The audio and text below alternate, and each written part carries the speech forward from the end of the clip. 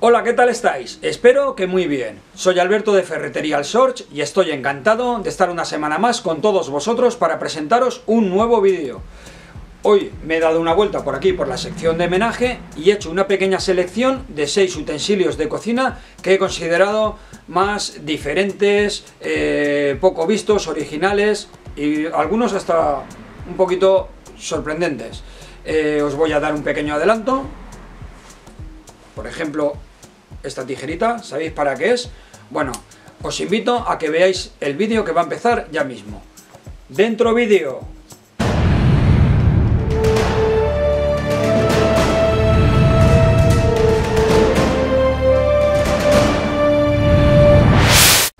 Bueno, pues el primer utensilio de cocina que os quiero mostrar es esta pastilla de jabón con soporte, jabón de manos, pero de acero inoxidable.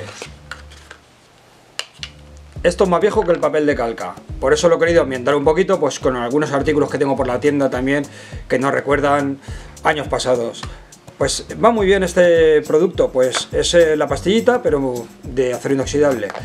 Cuando tenemos, cuando hemos trabajado con pescado, eh, con ajo, estos olores desagradables, pues nada, cogemos la pastillita, de acero, la metemos bajo el grifo, nos la pasamos por las manos y es súper efectiva. Nos quitará esos olores desagradables que no nos gustan a nadie.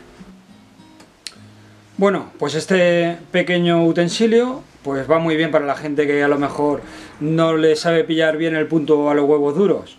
Y es muy efectivo. Es esta pieza, como veis, eh, tiene en el centro duro, medio y poco. Está totalmente en rojo. A medida que el huevo se va cociendo más, el rojo va descendiendo hasta llegar al centro, que sería, si nos gusta, muy duros los huevos. Pues nada, se pondría en el cazo con el agua, con el huevo, y a medida que va cambiando de color, pues lo vamos observando, y tendremos unos, unos huevos a nuestro gusto, poco, medio o duros.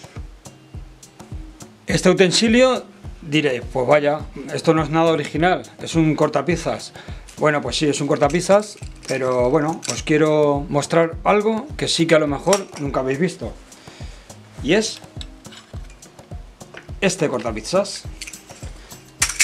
Bueno, pues nada, para los amantes del ciclismo, pues tenéis un cortapizzas, pero en forma de bicicleta, con su soportito y todo. Bueno, pues es una manera más divertida de cortar una pizza. Ahora sí que os he matado. Esto sí que no tenéis ni idea de qué es, me, imagino. ¿Así os aclaro algo? ¿Y así?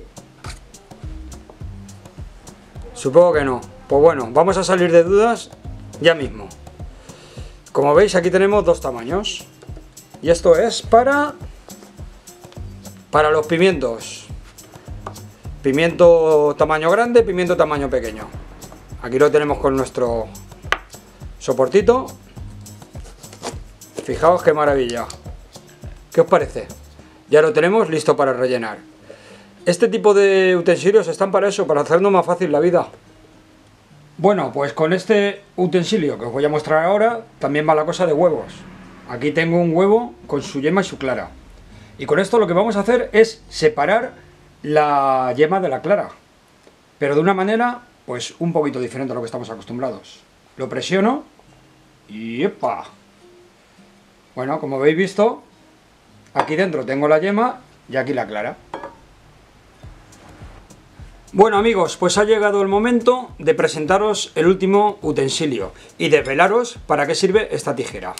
Y la cosa también va de huevos, pero en este caso más pequeño. Huevo de codorniz, muy engorroso de abrir, y os lo digo por experiencia, y con esta tijerita, pues nada, ponemos el huevecito aquí, cortamos y tenemos nuestro huevo de codorniz perfectamente cortado, que por mi torpeza me lo he cargado, pero no es culpa del utensilio, es mi culpa. Pues esto ha sido todo por hoy, espero que el vídeo os haya gustado y hayáis pasado un ratito agradable. Eh, me despido de todos vosotros hasta la semana que viene con un nuevo vídeo. No os lo perdáis, nos vemos muy pronto. Chao, chao amigos.